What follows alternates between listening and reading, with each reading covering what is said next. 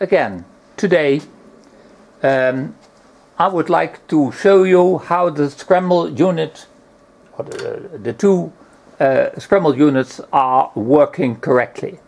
First, I will connect or load the audio onto the system. So,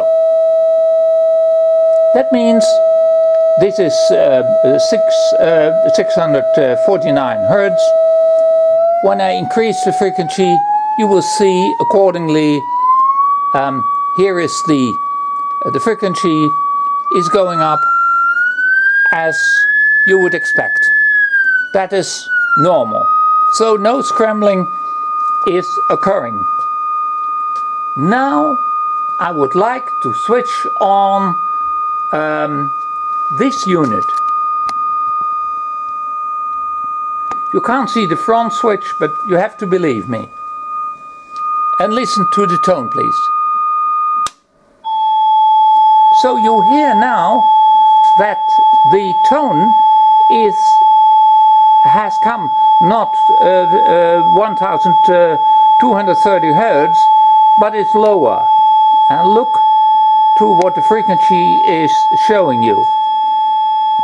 We have seen that when I move the frequency or change the frequency, um, the counter on top is uh, um, telling you uh, what is happening. But look to the, uh, the CRT screen. You see the frequency is going up and the signal on the um, on the um, oscilloscope is going down. It's going lower. And that is in fact very interesting. This means here we do encounter the situation of scrambling. Again, the tone generator is sending a signal to one of the inputs of the apparatus. I hope uh, I hope you can see it. So the tone generator is here getting its signal or sending its signal to here. And then it is going to the other situ uh, the other set which is down in the background here.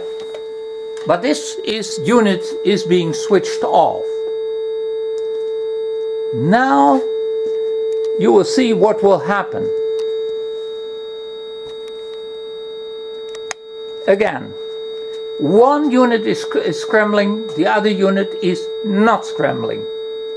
Now I will switch it on that both units are scrambling. Look please to the CRT screen. And you hear that the um, and you can see also that the um, the frequency pitch is actually um, going normal because 1650 hertz we're going down that's the matter of the band filter we're going down and you see it is changing accordingly So you can see that it is operating correctly. Now I will switch off the other set. so one is scrambling and the other one is not de-scrambling because there's only one scrambling. Again, we have the situation. We have um, 785 80 hertz and look to what the output is doing. The output frequency and the pitch is going down because we only have one unit uh, scrambling, the other one unit is not scrambling. When I switch off the other unit as well, you will get the original tone. You hear the pitch is now high. I will go down and now I switch the second scrambler on and the original tone should be made audible.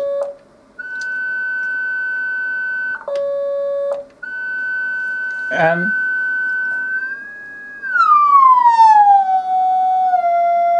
so lower